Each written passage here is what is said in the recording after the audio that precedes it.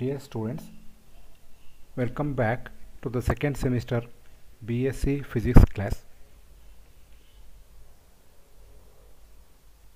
In this session, we shall learn about expression for critical constants, calculation of mean velocity, most probable velocity and RMS velocity.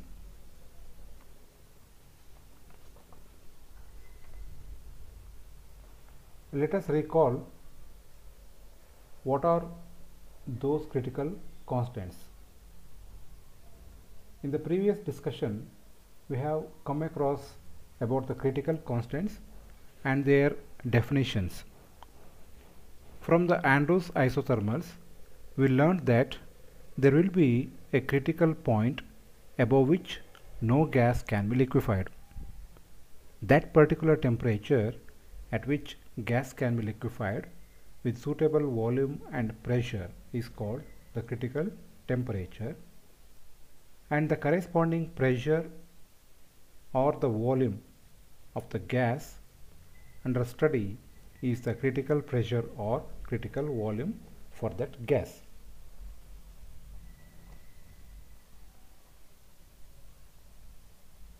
Now we shall discuss about the critical constants.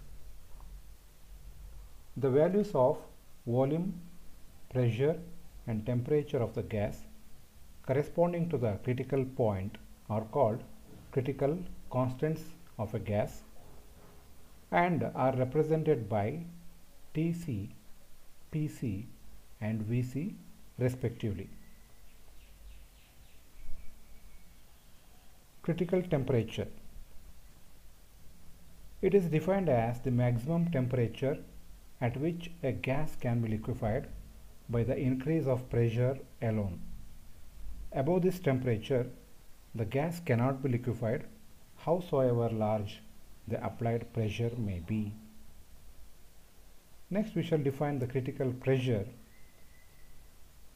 The pressure necessary to liquefy a gas at critical temperature is called the critical pressure. Critical volume can be defined as it is the volume at which unit mass of a gas occupies at the critical temperature and pressure. Now we shall move on to the expressions for critical constants.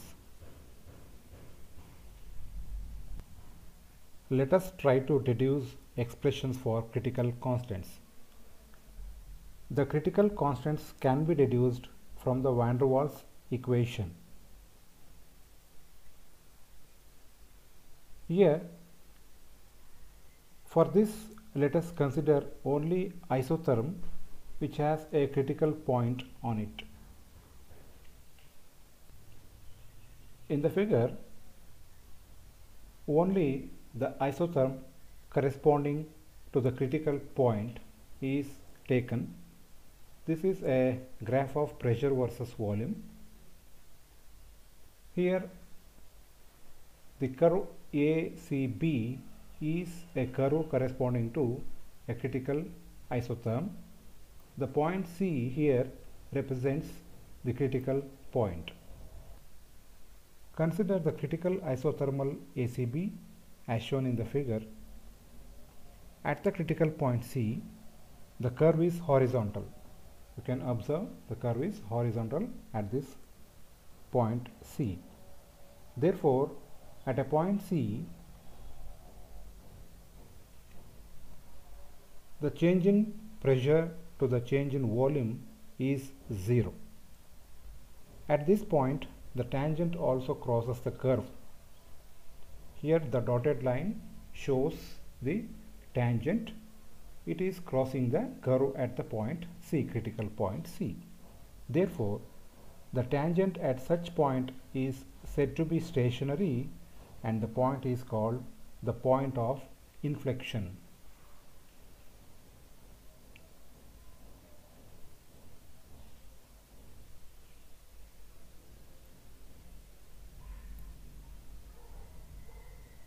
At this point we have d square by d square p by dv square is equal to 0. Hence, at critical point C, we have dp by dv is equal to 0 and d square p by dv square is equal to 0.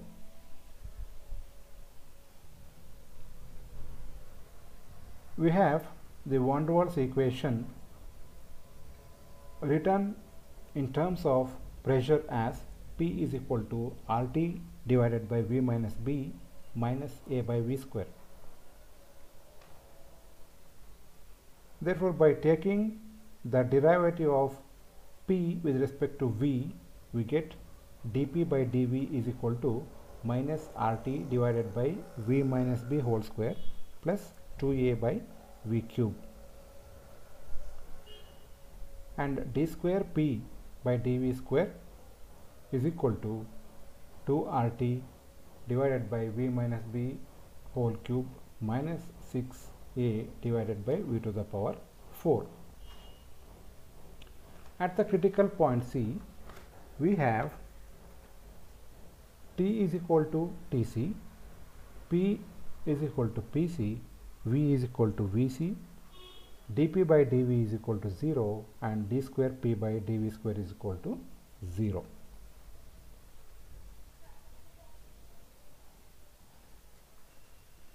Substituting the values of t, p, v, dp by dv and d square p by dv square in the expressions said earlier, we get the expressions as pc is equal to RTC divided by VC minus B minus A by VC square. Let us name it as equation number 4 and if we substitute the values of those in the equation 2 above we will get RTC divided by VC minus B whole square is equal to 2A by VC cube and 2r into Tc divided by Vc minus b whole cube is equal to 6a divided by Vc to the power 4. So hence we get three sets of equations, equation number 4, 5 and 6 together. Now dividing equation 5 by equation 6 we get here we see minus b divided by 2 is equal to vc divided by 3 or so we get uh, 3 vc minus 3b is equal to 2 vc so that will give us this expression vc is equal to 3b which is the expression for the critical volume. This is the critical volume expression. Next, by substituting the value of Vc in equation 5, we get RTC divided by 3b minus b whole square is equal to 2a divided by 3b cube. That will fetch us the expression for the critical temperature Tc is equal to 8a divided by 27 Br. Next, we shall find out the expression for the critical pressure by substituting the value of Vc and Tc in the equation 4 above. So we get Pc is equal to 8Ar divided by 27Br into 3b minus b minus a by 3b square. By simplifying this equation, so we arrive at some expression Pc is equal to a by 27b square this is the expression for the critical pressure. So hence above equations equation 1, 2 and 3 are the expressions for the critical constants.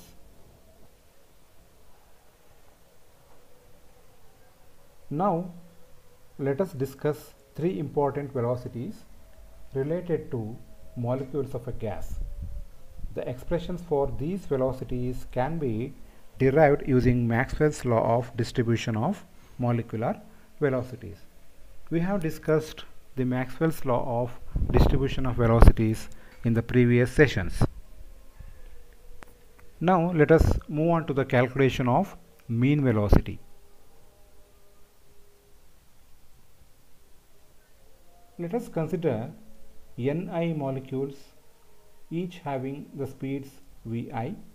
So where I denotes the number of molecules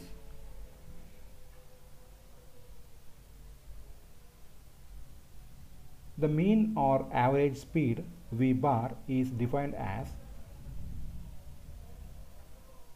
v bar is equal to summation ni vi divided by summation ni this means the mean velocity can be given by the summation of the product of the molecule into its velocity such as n1 v1 plus n2 v2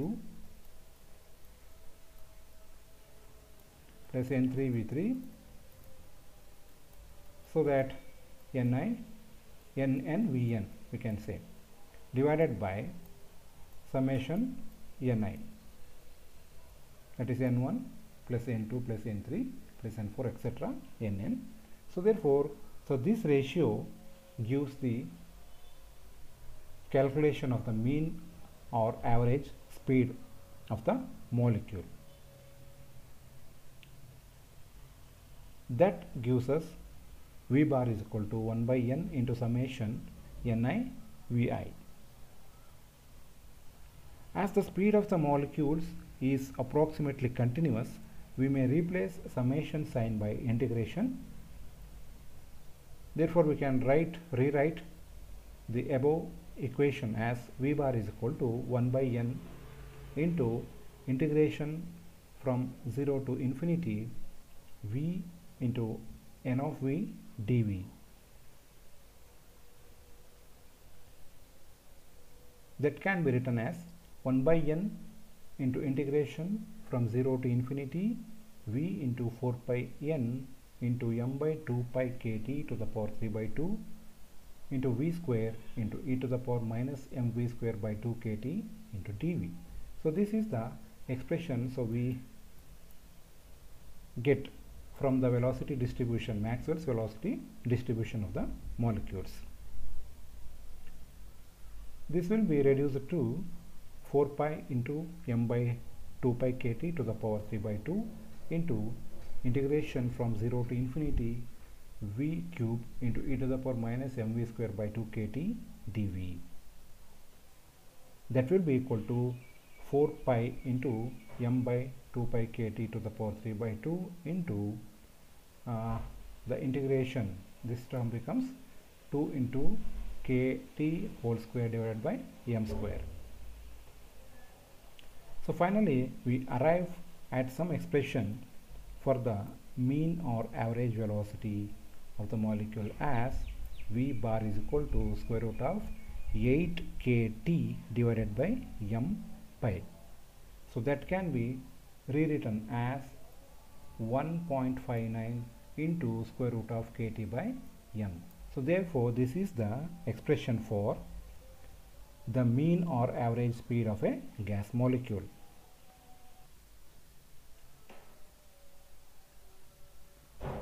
Now let us try to calculate the RMS velocity. The RMS velocity is nothing but the root mean square velocity. The root mean square velocity of a molecule is seen in the figure that is shown by the green dotted line. So first we shall try to find the expression for the mean square velocity. Afterwards we shall take the root of this mean square velocity. The mean square velocity is given by v square bar is equal to 1 by n into integration from 0 to infinity v square into NV dV. That is equal to 1 by n into integration 0 to infinity v square into 4 pi n into m by 2 pi kt to the power 3 by 2 into v square into e to the power minus mv square by 2 kt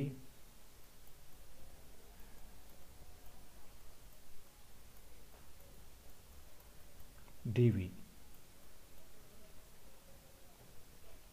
that is equal to 4 pi into m by 2 pi kt to the power 3 by 2 the integration of these terms will give us 3 by 8 into root of 32 pi into kt to the power 5 divided by m to the power 5. On simplification we get v square bar is equal to 3 kt divided by m. So this is the mean of the square of the velocities of the molecule. Now by taking square root on both sides we get the expression for the RMS velocity that is the root mean square velocity. Therefore V RMS is equal to square root of V square bar. So this is the expression for the root mean square velocity of a molecule. So that can be given by square root of 3 kT divided by m. Here the quantity square root of v square bar is called the root mean square velocity of the gas molecule. Now we shall move on to the calculation of most probable velocity. So what is the meaning of most probable velocity? It is the velocity possessed by the maximum number of molecules in a gas. For the most probable speed or velocity, the probability P of V will be maximum. Therefore, to obtain the most probable speed, let us differentiate equation of probability of molecules to possess the speed between v and v plus dv with respect to v and equate it to 0. So that means uh, if we want to find out the most probable velocity we have to equate the probability equation to 0 and then we get the maximum velocity of the molecule. So hence uh, the probability equation P of V is equal to 4 pi into m by 2 pi kt to the power 3 by 2 into v square into e to the power minus mv square by 2 kt dv. So if we equate this to 0 we get the expression as 2 into v into e to the power minus mv square by 2 kt is equal to mv cube by kt into e to the power minus mv square by 2 kt. In the graph also you can look into the most probable velocity so which is shown by the dotted line. So this is the most probable velocity of the molecules of a gas. Now the expression further reduces to 2v is equal to mv cube by kt and we get the expression v is equal to square root of 2 kt divided by m. So this v is the most probable velocity and therefore we can putting it equal to vmp most probable velocity. We can rewrite this expression as vmp is equal to square root of 2 kt divided by m. If we compare the expressions for all the velocities, we get the ratio as the velocity that is the root mean square velocity is to the mean velocity is to the most probable velocity. If we take the ratio like this, we get root 3 is to root 8 by pi is to root 2 so thus from equations of these all we, we get that it is clear that the root mean square velocity is the highest velocity and the most probable velocity is the lowest velocity. The mean velocity lies in between these two velocities. So therefore we can write it as Vrms is greater than V mean that is in turn greater than Vmp. So this is all about the velocities of the gas molecules.